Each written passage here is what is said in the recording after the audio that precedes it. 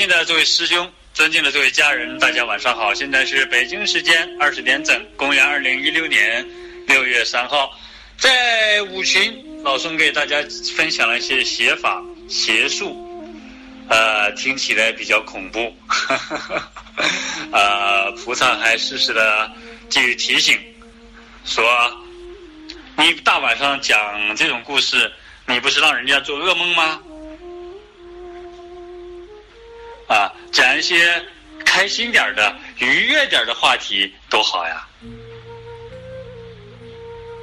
我一想也是，所以赶紧就结束了五群的分享，我们来六群转一圈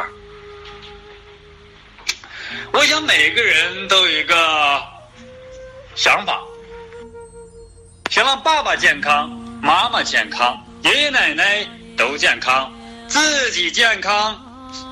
配偶健康，儿女也健康，健康是大家所追求的，但是我们日常的生活与工作却在透支着我们的健康，从早到晚忙忙碌碌，加班加班加班，为民忙。为利忙，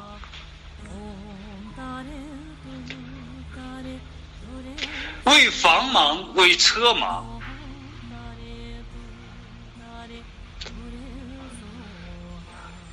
就像那句话：年轻的时候，我们以身用身体来换钱；年老的时候，我们用钱来换身体，是不是很不划算啊？除了身体啊，除了工作影响身体，当然够正常的工作还是必须有的啊，不可以过于疲劳，不可以去干那些影响身心健康的工作，不能做长时间超负荷的劳作。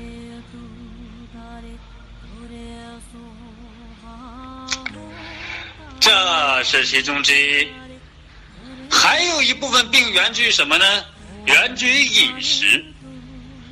俗话说“病从口入”，无论你吃荤还是吃素，现在我们都知道里边毒素很多，毒素很多，我们是不是就不能不吃啊了？不吃好像大家也受不了，是不是？有人说了，不吃饭怎么可以啊？告诉大家，开天辟地之初，人类是不吃饭的。他们如何生活呢？是靠吸取天地日月之精华。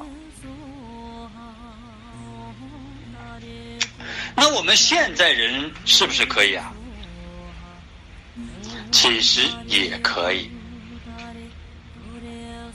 你的功能衰退了，但是可以培养，可以练习。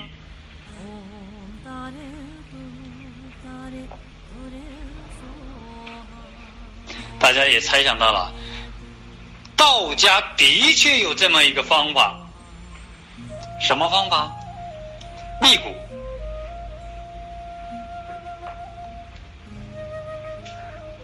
一听辟谷，大家会想到那是不吃饭。想一想，哎呀，这个辟谷会不会让我变瘦啊？工作会不会没力气呀？会不会无精打采呀？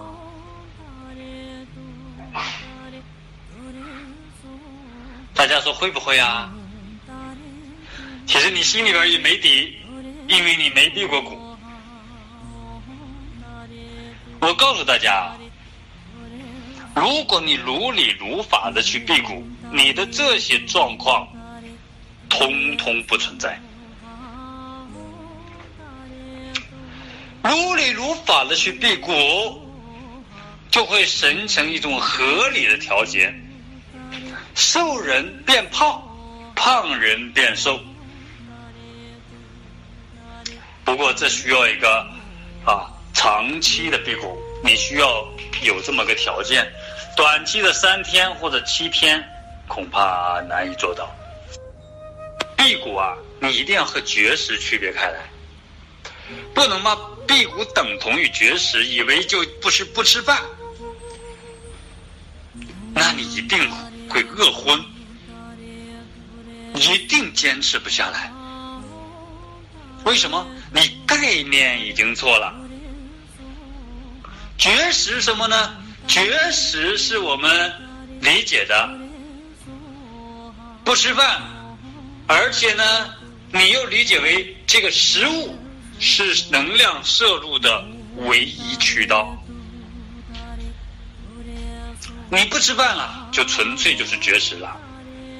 而辟谷不同啊。辟谷有一定的辅助措施，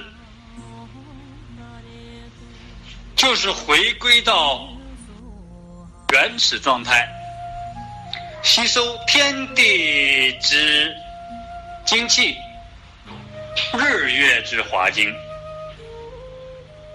把能量呢通过服气的方式吸收。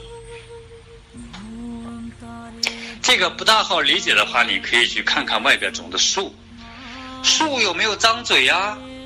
没有，你就说呀，树有根。但是大家学过小学甚至初中的自然这门课程，或者生物学的这门课程，你就知道，在历史上曾经有这么个著名的实验，把一棵树种在这个泥土当中。种之前称一下泥土的重量，等小树呢慢慢的长高，身体的质量是原来的很多倍的时候呢，再去称下土的重量，基本没有损耗，前后接近相等，也就是说这个树的能量。不完全取自于土里，那来自于哪呢？大家都知道有光合作用，光是不是日月之华金啊？有月光，有就有日光。这个光可不仅仅指的是日光啊！大家说了啊，月光是反射太阳光，好，反射也罢，也是光。此为日月之精。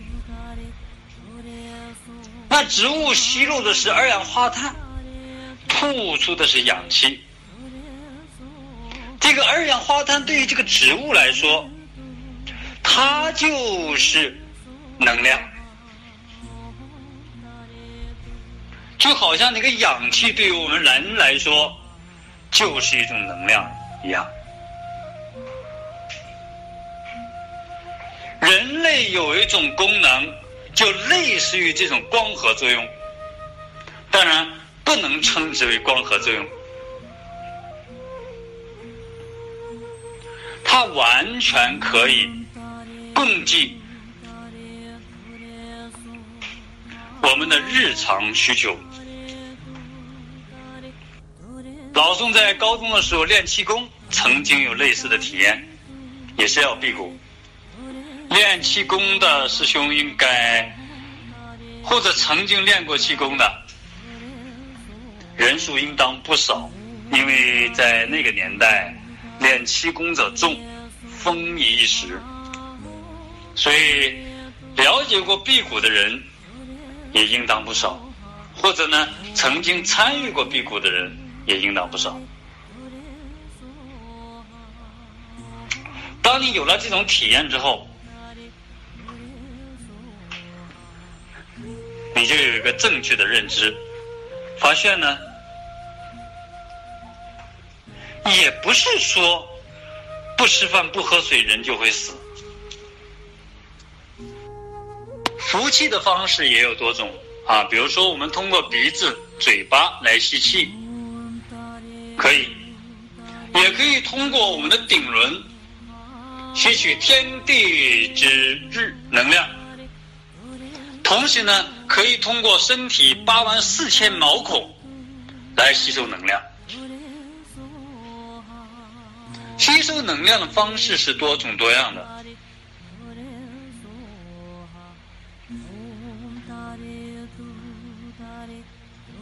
辟谷期间其实也有多种的选择，比如说你的眼睛不好，你就可以去森林当中，森林里边一片绿色，绿色五行属什么呀？属木的，它是养肝的，选择早晨去。五至七点卯时，是不是啊？就非常棒。当然了，呃，辟谷一般吸气的也都会选择在早晨，早晨的空气相对来说比较干净。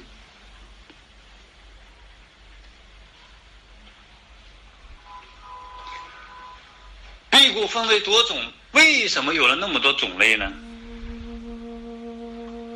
这是根据每个人的体质、信念力不同，或者这个群体是什么样的状态，就会选择特定的辟谷模式。我们前几天还专门做了一个见证，请的是辟谷祖师。这个辟谷法就是他直接传承下来的。我们当时啊，就是四位天眼见证人来请教这个祖师这个问题，结果是什么呢？这个祖师根据他四个人的分别不同的个体情况，教了一些。不同的方法，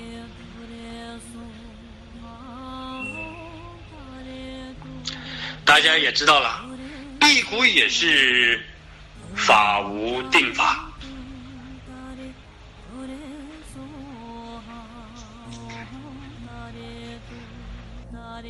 目前市面上流传的辟谷，大部分是半辟，就是适当呢。还要吃一些水果呀，有的地方呢要吃些土豆，有些地方呢会吃些红薯，有些地方呢会吃一些其他的一些饮食。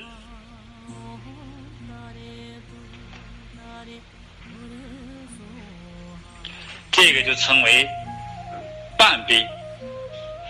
有的地方呢不吃这些，会吃些丹药。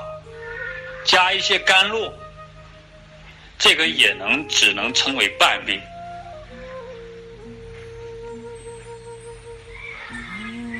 这个全闭，其实真正是是水、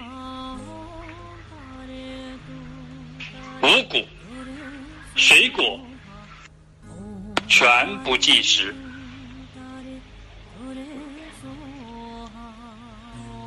我们身体是一切皆可制造，只要有能量就行。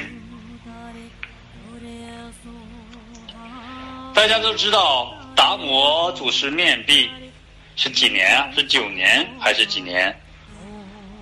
他面壁之间有没有吃有没有喝呀？没有。这个入定状态。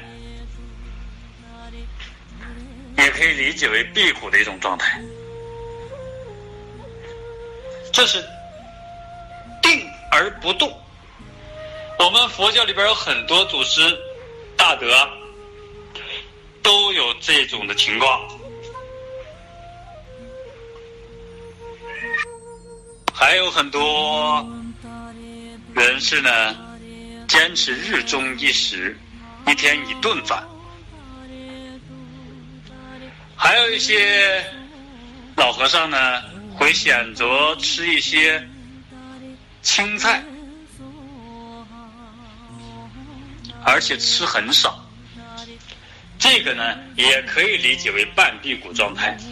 他们完全可以不吃，但是为了考虑到世人对他们健康状态的照顾，发慈悲心吃一点。其实他处于的就是一种半辟谷状态了。还有的就压根儿就不用吃。这种人还不少，当然也不用饮水。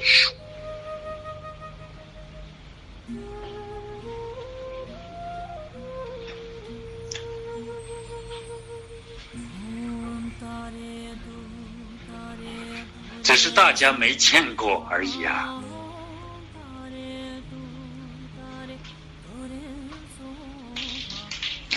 因为我们科学深入人心，说七天不饮水人会死亡，所以说呢，呃，各大辟谷机构啊，为了防止出岔，因为每个人的思维念头是很恐怖、很可怕的。记得在国外以前曾经做过一个实验，当然这个实验不是科学家做的。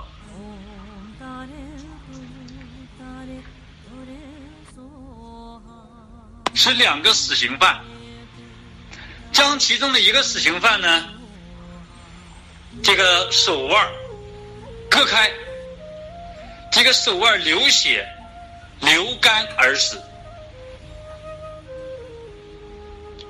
咱们称这个死刑犯为 A。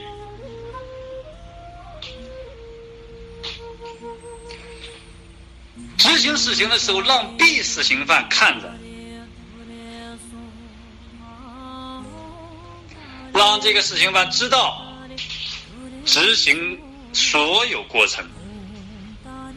当 A 死亡之后呢，把 B 的眼睛蒙上，然后拿小刀轻轻的划破他的手，然后拿一个水龙头一样的东西，制造出像血流一样的声音，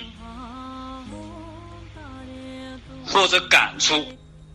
当水流停止的时候。这个死刑犯会误以为他的血液已经耗尽，这个时候，这个死刑犯怎么样了？A 也会死亡，你就知道这种意念力的有多可怕。正因为有这种意念力。所以说，各大辟谷机构呢，都会让大家饮水。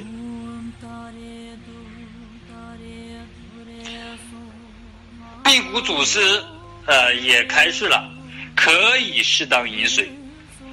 这个饮水呢，可不像咱们平时大夏天的渴的不行了，拿起一瓶子咕嘟咕嘟咕嘟一喝，这是不可以的。这样是大口的喝水，就会冲刷你的胃。让你变得更饿，导致你无法把辟谷持续下去。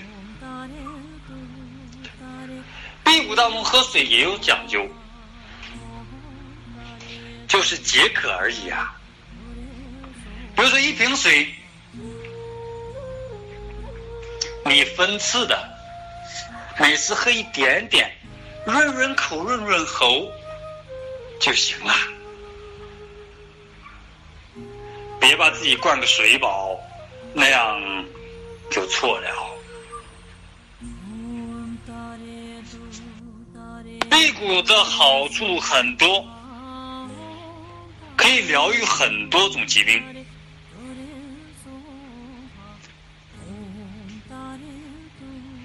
但是辟谷又不是万能的。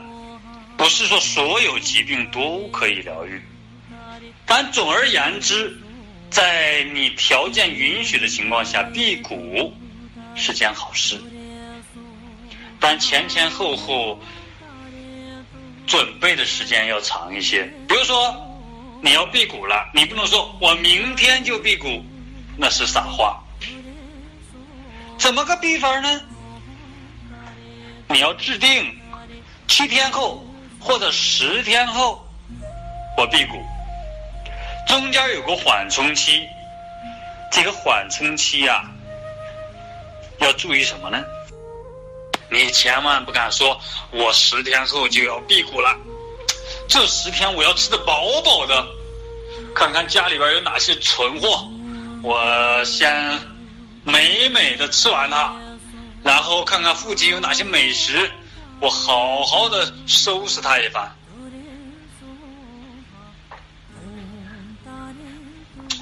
意思是。你是骆驼，大师大喝，然后备用，等了这个辟谷的时候来吸收。这个时候，这种形式是错误的。当你决定要辟谷的时候，前七天或者十天，甚至更长时间，你就要有所准备，就要使每顿饭变得少，可以少吃，可以多顿。比如说，刚开始一天是三顿，每顿饭吃五百克，那你呢可以慢慢的转为吃四顿、五顿，每顿饭呢吃二百克或者吃一百克，这样逐步的减少，直到你辟谷那天开始。如果你实在无法做到全闭，那你可以适当备点水果，饿了呢吃上一个。也可以呢，吃上半个，你别一个大水果弄得很大。你说呀，我吃一个半个，我准备个西瓜吧，不是那个情况。啊。意思下，另外辟谷期间呢，你要是没那个定力，尽量少去看别人吃饭，也不要去看你个表，是不是到了饭点了，转移一下注意力。不要去，呃，看去想，这样去看，这样去想，你就无法坚持下来。因为人都有个生物钟啊，每到点儿了就想吃，看到别人吃你就香，是不是？尤其是辟谷的前三天。那是最为煎熬的。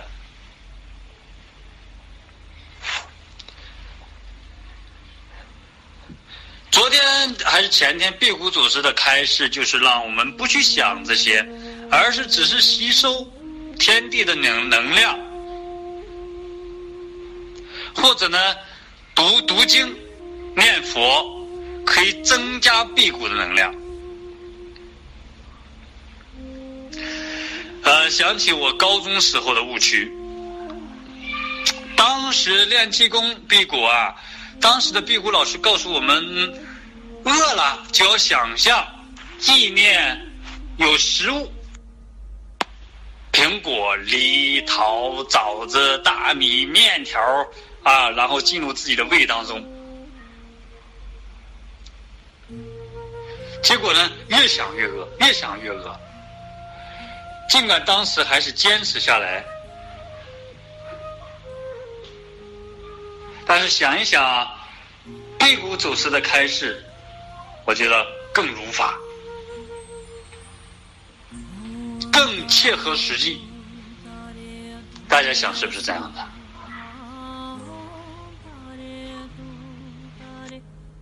辟谷呢还有很多注意事项，但是每一个人有每个人的。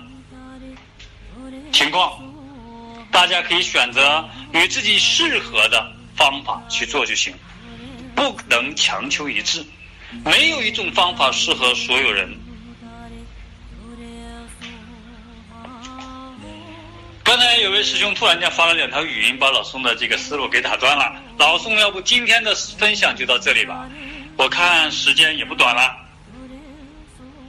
大家也要休息，马上呢一会儿又要共修。